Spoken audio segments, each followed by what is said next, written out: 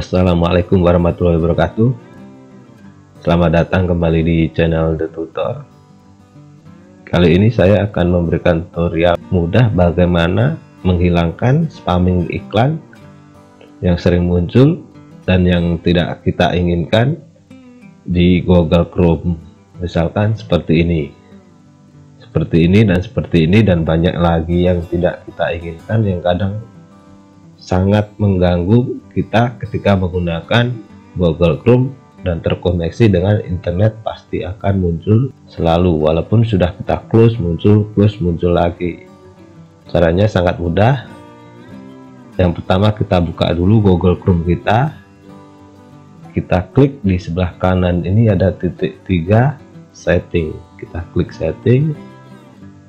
Nah di sini menu setting ada yang namanya menu advance.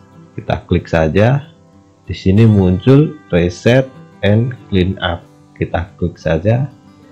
Lalu kita pilih restore setting to their original default. Artinya kita mengembalikan ke settingan Chrome yang di awal sebelum iklan-iklan tersebut muncul dan seperti baru lagi. Kita klik saja. Dan reset setting.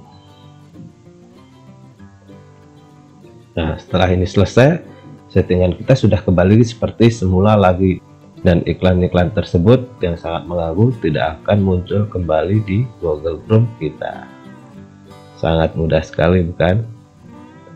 Sekian tutorial dari The Tutor kali ini tentang cara bagaimana menghilangkan iklan-iklan yang sangat mengganggu di Google Chrome.